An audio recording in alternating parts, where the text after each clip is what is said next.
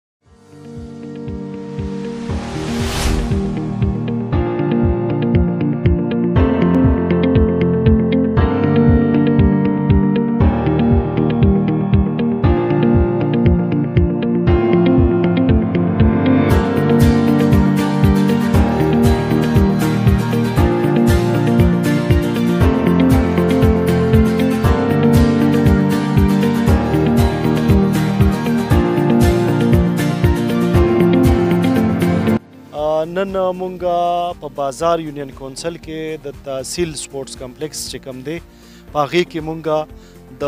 مونسون شجرکاري مهم آغاز وکړو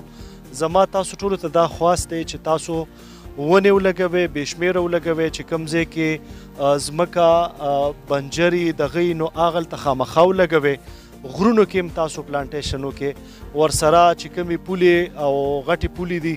د ځمکو سره هغه باندې هم تاسو پلانټیشنو کې ځکه چې دا ګلوبل وارمنګ دا څومره چې انوایرمنټل چینج راځي دلته نو دا دا فلډینګ وګوره دا دغه وګوره دا ټول به دې سره کنټرول کیږي ان شاء الله تعالی زموږ ماحول به ځکه چې په ټوله دنیا کې نن سبا انوایرمنټل تھریټس دي او دا چې کوم دی نو ټول دنیا به فیس کی نو دا زمونږ د بچو د مستقبل لپاره تاسو ټول ته خواست کوم چې په سومرم په ګڼ تعداد کې تاسو شجرکاری کولی شئ ونې لګولی شئ نو فایده هم ده په هغه جان کې به هم درته ملاویږي او په دې جان کې به هم د هغې فایده تاسو ته مونږ ټولو ته ملاویږي دا ونې بوټي لګوي دا به چا سره ملاوي کوم ځای کې ملاوي په کومه طریقه به ملاوي دا پکې د دې نه مخکې خو زمونږ چې کوم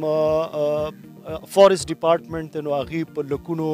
په کروڑونو ټکی چې کوم دینو لګولې دي او وسوم چې کوم دینو زمونږ فارست ډپارټمنټ تاسو ته باولې په لې چې تاسو مرم ټکی په کاری هغه به تاسو ته پروواید کی ان شاء الله تعالی او نرسریم زمونږ د حکومت موجود دي ان شاء الله غبر روان جمی کې به مونږه د هغې پراپر ډیسټریبیوشن هغه په لکونو کروړونو کې زموږ صوبه